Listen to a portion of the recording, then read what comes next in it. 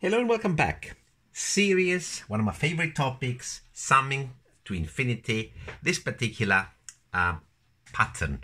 Um, I've done a very similar question um, quite a while back. One, it was one of my first uh, lectures. This is a little bit more involved, so I thought I'll revisit it.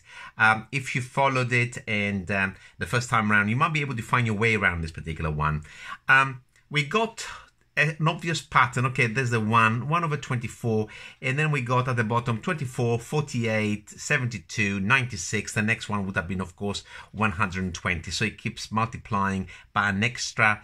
Uh, I don't know how to describe it really, but I hope you can follow the pattern. Let me just actually write one more term in there so you can actually see if uh, you follow the pattern what it should be. Of course, it should be 24 times 48, 72, 96 times 120. And on the top, it would have been 1, 4, 7, 10, and then 13, and so on, forever. Okay, so we need to make a few observations. Something like that, I see hidden factorials at this particular denominator. So I'm to have to work smartly. Let's call this particular uh, expression S. So this is the sum that I'm after and let's rewrite it step by step and try to find our way around. So I'm going to factorize a 24 out of the denominators of each term. So for the first one, it's quite silly really. It's going to be 1 over 24 times 1. I'm not touching the tops at the moment. I'm just going to leave them for the time being. I'm factorizing at 24. Careful because that's multiplication. So it's going to be 24 squared being pulled out. And then I'm going to have a 1 times 2. And that's what I mean about having factorials hidden on these denominators. As I'm factorizing at 24, now it's going to be times 24 times 24 times 24 cubed. Then I'm going to have a 1 times 2 times 3 or 3 factorial and so on. So I hope you get the, the idea. I'm just going to write the next few terms without much more explaining. And uh, let's uh, ponder on our next move which might not be obvious. Okay, so I regret now writing an extra term in there. Lots of crap writing for nothing really. Okay, so that is 24 to the power of 5 times the 5 factorial. So this is good. Factorials are good because the question is now, is that some kind of exponential? Because factorials without any gaps uh, because of course the sines and the the cosines have uh, factorials are the denominators, but they're either going in even factorials or odd factorials. The exponential has continuous factorials, like one times uh, one fact sorry zero factorial, one factorial, two factorial, so on. But there's another power series that also has factorials. That's a simple binomial, and this is what I'm looking now at these numerators. Um, the numerators are not nice. One times four times 7 times 10. Yes, there is a pattern, but I have to see the pattern possibly in a very, very different way. This is the next step, which is a little bit hard to actually see. What I'm going to do, and I'll try to justify it, just look at these numbers. They have a gap of 3, okay? Let's look at this line here. Let's this numerator, just on its own. 1 and then we got a 4, then we got a 7, then we got a 10. Don't worry about the multiplication. Just look at these numbers now, this sequence of numbers. If I was to divide them by 3, so they're one apart now, basically.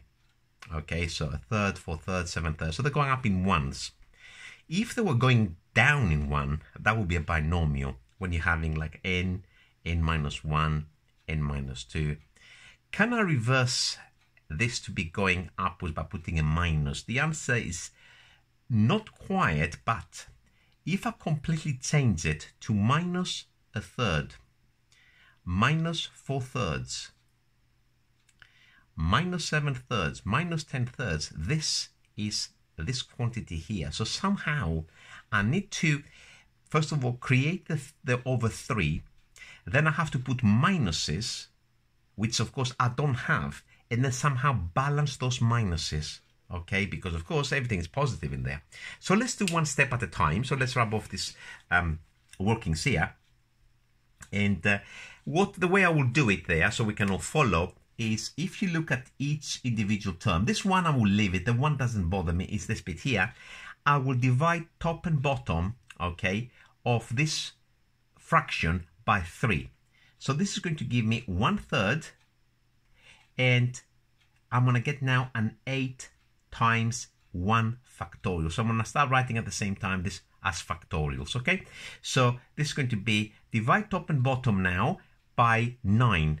3 there and 3 there. So I'm going to have 1 third times 4 thirds. So altogether are divided by 9.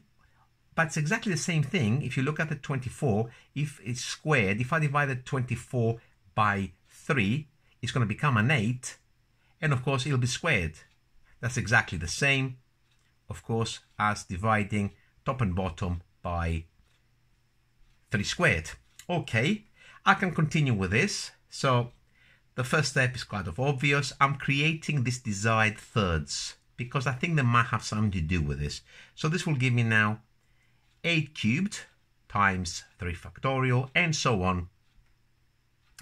I think I'm, I will not bother with this term because it's really annoying me now that I have written it. Uh, a third times 4 thirds times 7 thirds times 10 thirds.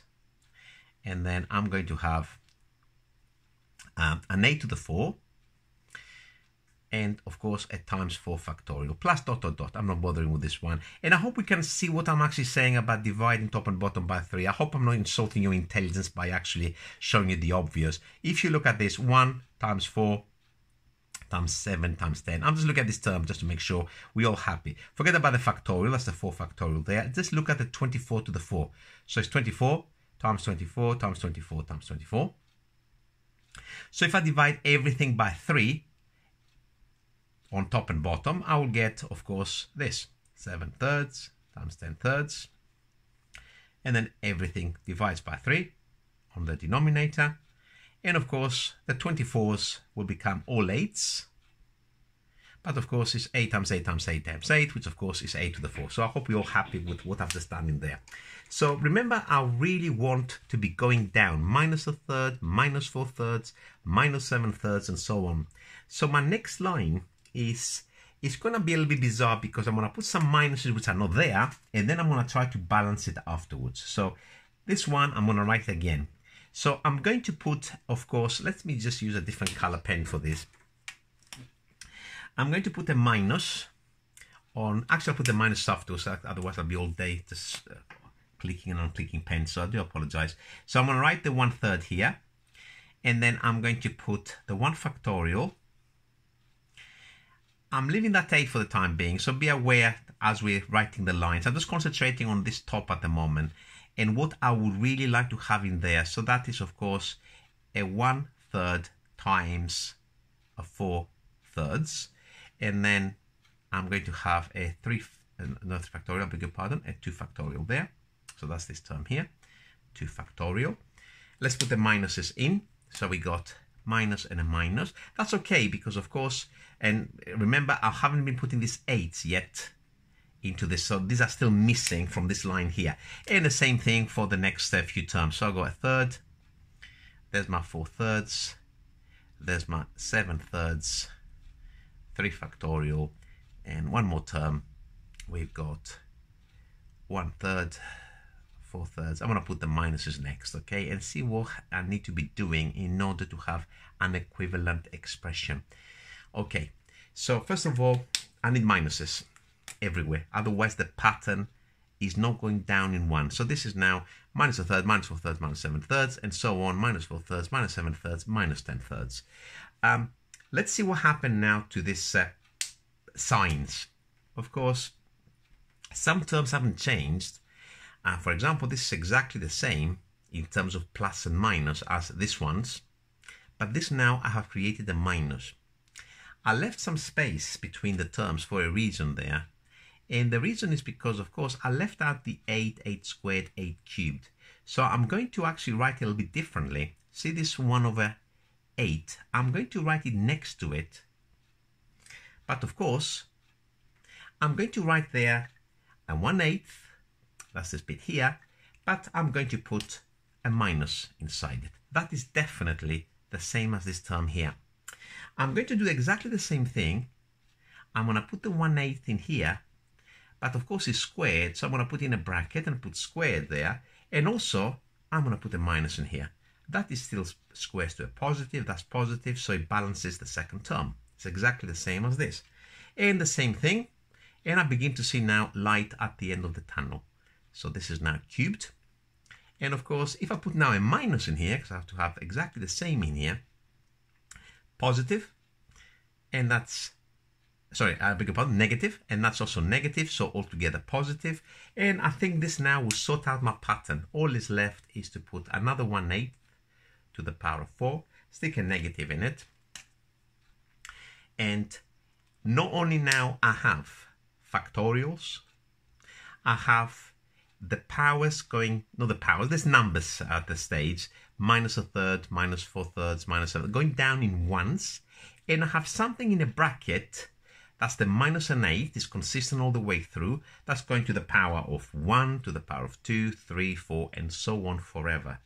Well, if we look at what this is, this is in fact the binomial expansion of 1 minus, uh, actually I'll write a number.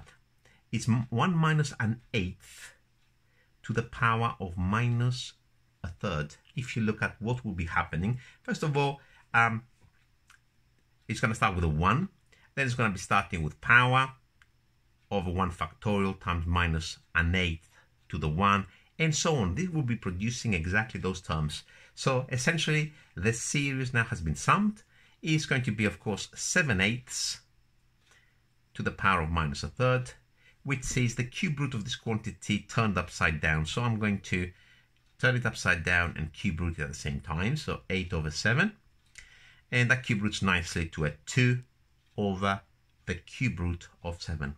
So this particular infinite series converges to actually a pretty straightforward surd when you look at it. Something we didn't expect perhaps. We're expecting the recent uh, series that uh, I have done uh, on, on, lectures on. They've had like ease and kind of like nice stuff. This converges to uh, a, an irrational number, the, the cube root of uh, 7 on the denominator. Something perhaps a little bit unexpected. Okay, I hope you enjoyed it and I'm signing out.